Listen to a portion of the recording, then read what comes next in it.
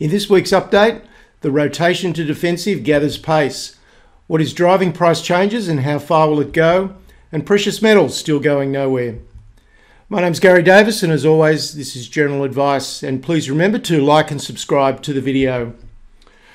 All right, we're into the uh, into the new year, and quite a lot has um, has come to fruition. It's been threatening throughout December as we saw the rotation away from the more aggressive sectors uh, into defensives, and um, and that really is starting to gather pace now. So important to understand what is driving prices so that you don't get caught out.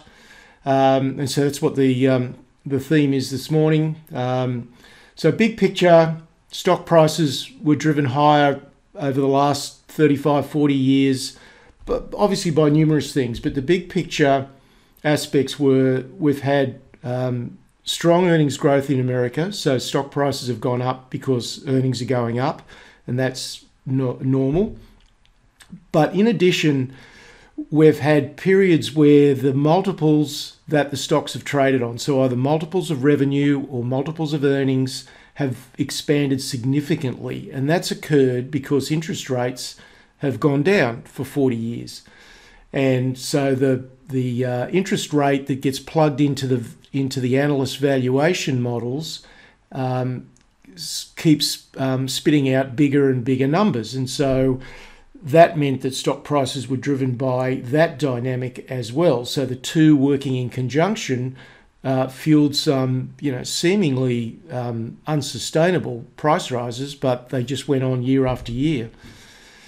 Now that it would appear that interest rates have now turned the corner and are now going up. Um, it's debatable how quickly and how far those interest rates go up, but I think we can say one thing, and that is that interest rates really aren't going to go down uh, again. Um, you know, I don't think we're going to see interest the ten-year yield down under under one percent again. So they can't go any lower, um, and so therefore um, analysts are really projecting forward that interest rates are going to be progressively moving higher. And so that is going to cause a rethink. And it's highly likely, in fact, we're seeing it already, that that expansion of multiples is going to turn around and go the other way. And multiples are actually going to contract. And I'll show you an example um, in a minute on, uh, on a couple of stocks just to illustrate that point. So what happens now for markets, and, and you've got to, you know, not just look at the index, because the S&P is a combination of aggressive and defensive sectors, the moves in the S&P are going to be far, far less than a lot of individual stock or sector moves. Um, so these comments really are directed at what's going to happen to stocks um, individually. So we're going to get a period of adjustment where most of the multiples will decline long term. Now, whether that happens abruptly or happens more smoothly over time, um, you know, remains to be seen. And many stocks um, will be impacted far more or far less than others. So I think there's going to be a huge divergence in the treatment that's that's given to stocks, how much multiple contraction there is going to be. So how do we go about negotiating the next period? You know, that's that's the key thing. It's all very interesting to understand why it's happening, but how do we actually get through it? Well, look, you've really got to be right on top of both fundamentals and technicals. The technicals being far more important than the fundamentals because when the market starts to shift into negative sentiment, it starts to be driven a lot more by emotion, uh, by panic selling, and so um, your decisions need to be based far more on what the charts are, are, saying rather than what the fundamental or valuations are saying, because sometimes it can be just completely disconnected. So we do need some sense of valuation, and again, you'll you'll pick that up when I show you a couple of examples in a minute. So we need some sense of valuation, but we can use these periods of uh, of panic and excess negativity to advantage to scoop up high quality stocks that are just being sold down, uh, you know, too quickly and are going to rebound. So let's go and take a look at a couple of examples So we'll start with Microsoft first of all, and I, I showed this example with Microsoft several months ago to illustrate that it wasn't really all that expensive when you really looked at the growth rates and the interest rates. Now, interest rates are obviously going to head up. That's going to mean that the the forward valuations are going to be um, getting reduced by analysts. And so we're just seeing the start of that process just in the last couple of days. You can see some fairly concerted um, downward moves in Microsoft, and we just broke. Let's put a line in there. We just broke these little levels of support here, uh, short-term support, uh, at the end of uh, the week. So if we look at the forward earnings estimates for for financial year 22, which is what the market is obviously now pricing in, the consensus estimate is $9.32 that puts the stock on a current multiple of 34 times. Now, under a very low interest rate regime, I think that was probably appropriate. And I argued that uh, when I did this example a few months ago. But if we look out a few more years um, to 2024, you can see that the earnings um, are expected to grow significantly up to $13.27. So there's still going to be significant growth in earnings in Microsoft and many other stocks. You know, that is, the, the prices are not coming down because the market is concerned about the earnings growth. The prices are coming down because there is an adjustment in the multiple the market is prepared to pay. So where we sat before, the, the financial year 24 estimate represented a multiple of 24 times. Now, if we look at the earnings per share growth, what is fair? What is a fair uh, PE multiple for a stock like Microsoft? Well, if you look at the earnings, so I've I've taken um, some history, so from 2019 to 2024, so some history and some forward uh, forecasts. And the average, the compound annual growth rate in earnings is 22% per year. So, given that, what is a fair multiple to pay for a stock like Microsoft? Well, previously, the market was prepared to pay in the, the mid to high 30s let's assume that that is no longer the case in a rising interest rate environment, and the market says, well, okay, we're only going to pay, let's say, 28 times. I'm just using a hypothetical here. I'm not saying that th- this is where the market will stop, but just as an assumption, let's say 28 times. If that were the case, then the current price could adjust down to $260. So I'm just giving you an example to give you a sense of how significant this multiple contraction can be. Now, to move from 34 to 28 doesn't seem like very much, but the impact on the share price can be quite significant because 260 is right down here and also happens to be, you know, pick up a support level down here as well. So let's just put a line there at uh, at 260. So it's it's possible that the price of Microsoft could come all the way down here. Now, it may not, or it may take a long, long time. But the other dynamic, that you know, the net result of where the price goes, is a balance between the earnings growth pushing the share price higher, because I don't think there's any there's any doubt that Microsoft earnings are going to continue to grow.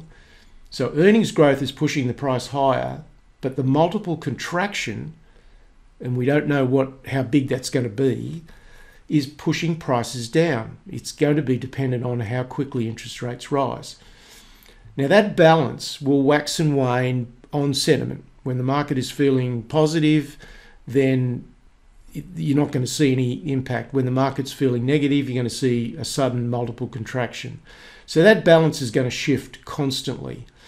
And therefore, technical analysis is going to allow us to swing the odds in our favour because if we're basing our decisions on um, on the fundamental valuations, the market could just do something completely different altogether. So this exercise, the point is just to show you that this multiple contraction that's been working in favour of stocks for the last 30, 40 years, it's very likely now that this is going into reverse and it's going to work in the opposite direction but it's going to affect different stocks to far different degrees. So Microsoft, I think, is going to be one of the one of the better performers, the more resilient to this multiple contraction. But let's look at a stock like Square, or it's now called Block. Um, now the price of Block, as you can see, has come down. It was $280 in August, and we finished at $140 uh, on Friday. So virtually a, a 50% reduction in the share price. And some people would look at that share price, which is in you know a very sharp decline, and think that there's something wrong with the business. But in fact, there's nothing that I'm aware of that's wrong with the business at all. The business is still going along very nicely. But this is about a very concerted multiple contraction. So at $280, the financial year 21 earnings multiple was 160 times PE. Now, that was probably excessive in any interest rate environment, but that was just how the market felt at the time. But once the market got a sniff that interest rates were starting to go up, then the multiple contraction really kicked in big time on Square and many others. So that multiple now is still high. It's, it's come down from 160 down to 80. So it's still high, um, but it's come down a lot. But you can see the share price is now in basically in free fall. And I really have no idea where, where the bottom is. Um, you know, we could be looking at sub $90 is, is possible. And, you know, it's very unpredictable. And that's why if you're in stocks like this, there's no telling how far they could fall. And, you know, this is a big picture change. This is very significant, and you shouldn't ignore where the market is sitting. We've had 35 to 40 years of a certain market dynamic, and that market dynamic is now shifting. So this is a big deal. Let's look at some other stocks, and again, this is all the same. Teladoc, this is a really good company, but it was just ridiculously overvalued, and, and the multiples are contracting dramatically. This is Atlassian, which is an Australian stock listed in um, um, in the US you know, it's now really so the multiple contraction is really starting to kick in on this one. Look at the volumes. So again, nothing wrong with the stock. This is just the contraction. Um, you know, Twilio, another very, very good business, but clearly now in downtrend. Zoom, which is everyone's pretty familiar with these days, there's been a very significant move from $400. Now we're down to 173. You know, it's lost more than half its value. So when these big picture shifts happen, um, you don't want to just sit there and think that life is going to go back to normal in a short period of time because this is a big picture readjustment. Just a couple of other charts that are important. This is HYG, which is the uh, junk bond um, uh, ETF, and you can see it's it's rolling over now. We've had very significant volumes in the last three sessions and quite a concerted move. So what this is saying is that uh, junk bonds are being sold off um, at, at a, an increasingly rapid rate, and that indicates a market that's um, you know that's getting increasingly nervous and increasingly defensive. Uh, and also, this is IWP, which is the Russell um, Mid Cap uh, Growth Stocks ETF. And again, you can see we've now broken down. We've we've broken below these lows here these short-term lows. Um, the moving averages are now all rolling over. The price is below all of them, and it would appear pretty clearly that this ETF, along with many, many others, are now moving into uh, into downtrend. Let's go and look at some of the spread charts because this really tells a um, a very, very clear story. Um, this is consumer discretionary versus consumer staples. Uh, you can see since the 19th of November, um, that's come off considerably and it's heading down quite quickly. So money money flowing out of aggressive into defensive. This is um, the US small cap growth versus small cap value. So when the line is rising, the growth stocks are doing better. When the line is falling and it's falling, you can see here very quickly. It's you know it's you really have to say it's plunging um, then the value stocks are doing far better than the growth stocks. Let's look at the large caps. Large Russell 1000 growth versus 1000 value. Again, you can see just the speed of the move in the last week has been quite dramatic. So there's no question we've got a very significant shift on our hands, that's for sure. Now I want to show, uh, so this is the US, this is the best chart that I could find. Um, so this is 1981 when the 10 year interest rate in America was uh, just under 16%, probably just touched 16% at the peak. So you can see for the last 40 years, interest rates have gone down um, in a bit of a sawtooth pattern, but gone down progressively over time. We've hit the bottom, pretty close to zero, certainly got down to about uh, 0.5, but we're now heading back up again, and it would appear that um, you know that that is a new multi-decade dynamic. Okay, so let's have a look now at the American market. The S&P fell 1.9% uh, uh, for the week, as I mentioned in the last video just before Christmas. The end of December was really rather contrived pricing because we had options expiry, um, you know, leading into that um, that final week of Christmas, and then of course low liquidity as well, along with options expiry, um, and we had very abrupt turnarounds from positive to negative and back again. So you know, pretty much best to ignore what happened at the end of February, uh, at the end of December. Um, but what we were seeing was this rotation from aggressive sectors uh, to defensive. And that's been brewing for some time, but now it would appear that the main event is starting. The main readjustment phase is starting. And I really don't have a feel at this stage for how far and how long that readjustment will take. We've just got to sit back and, you know, let see how it, uh, it plays out. Now, the US dollar uh, is still in the sort of 95, 96, 97 area, not a lot of change there. Um, the 10 year yield, that's been the big change um, from the last time that I uh, did one of these weekend videos. The, the yield wasn't responding, um, which was indicating the bond market didn't believe the, the what the Fed was saying. Um, but that has now turned sharply higher in the last uh, couple of weeks, and we're now, I think we touched 1.8.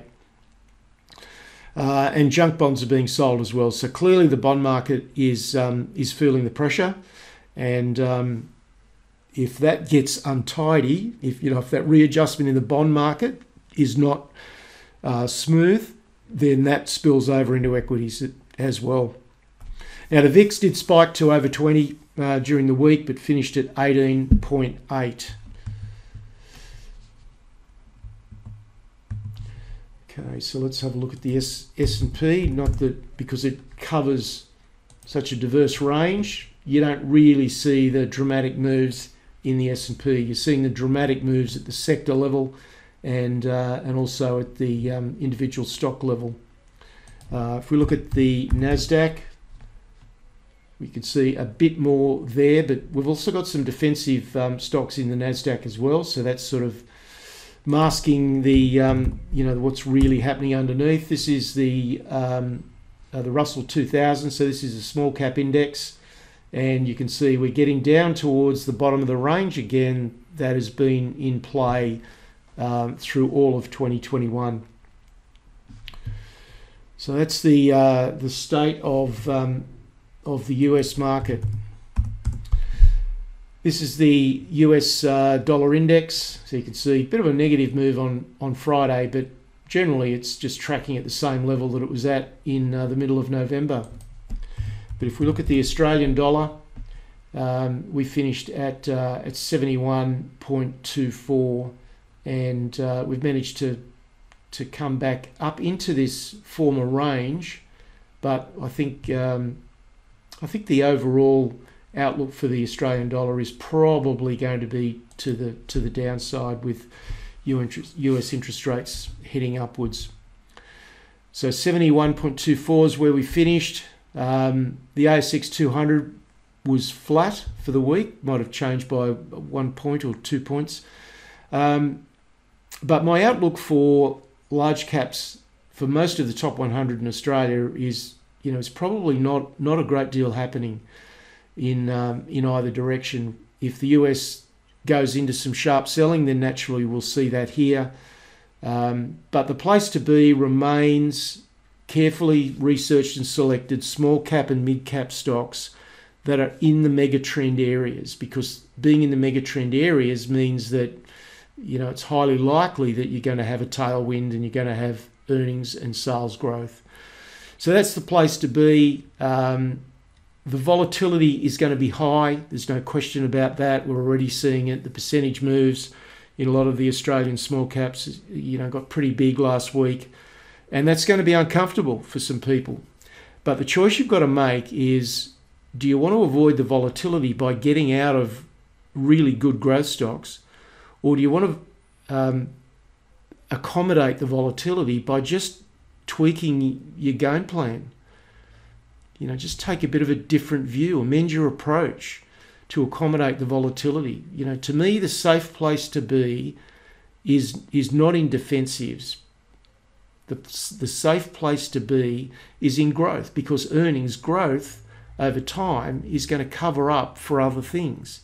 You know, because okay, we're getting multiple contraction, but earnings growth will help balance that out, as as the Microsoft example showed. So you've got this this two-way battle between the the growth and the and the um, multiple contraction. So you know, to me, that's the way to approach it. Looking at precious metals, uh, gold was uh, down um, thirty-two dollars to seventeen ninety-seven, and basically gold is is still stuck.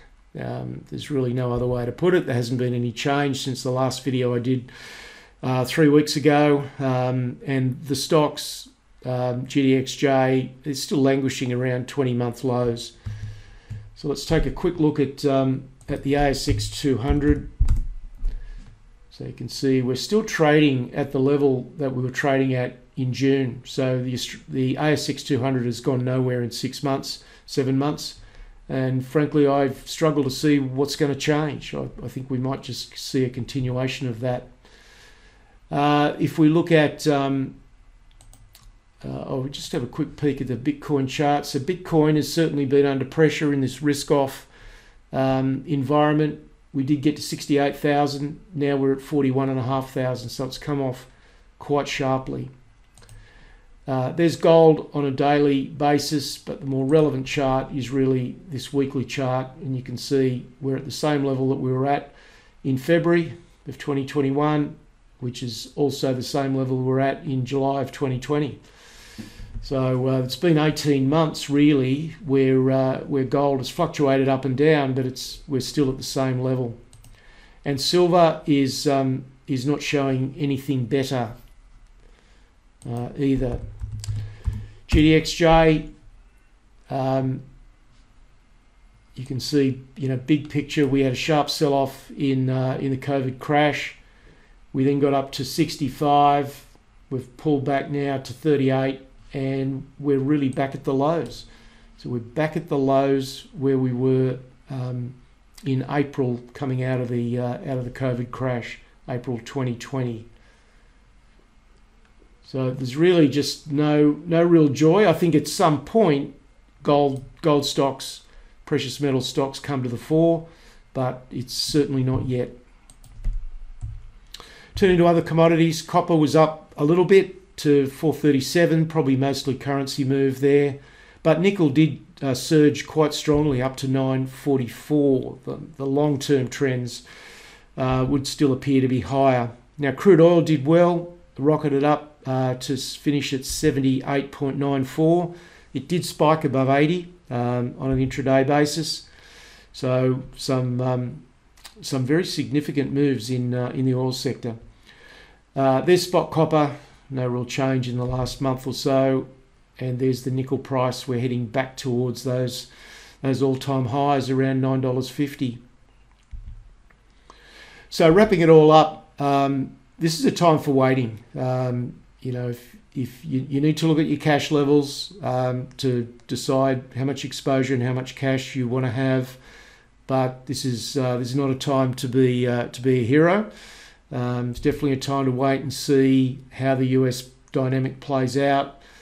The US market um, as a whole looks challenging in the short term for, for most areas of growth, um, both small cap and large cap.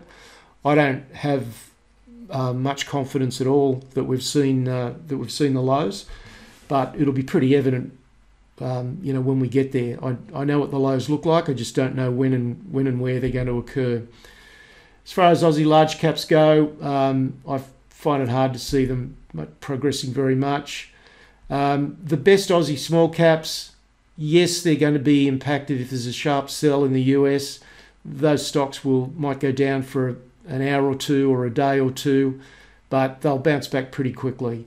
And, and they'll largely ignore the US sell off. Um, it's just that short term impact, and that can quite often be a, a great opportunity to, um, to top up your, uh, your holding. Now, portfolio analyst last week, um, I covered numerous things, but one was the outlook for graphite, which is probably hasn't had the airplay that that nickel and lithium and uh, and platinum group metals has had. But um, you know, graphite is um, is certainly something that should be on your radar. Uh, we also covered expectations for 2022 in uh, at a big picture level, just based on you know what you would normally expect the probabilities to dictate. So that was Portfolio Analyst last week. Uh, if you'd like more information, there is um, the website address and also my email address. And I'm sure it'll be um, it'll be a pretty fascinating week coming up. So I'll be with you um, next Sunday. Cheers.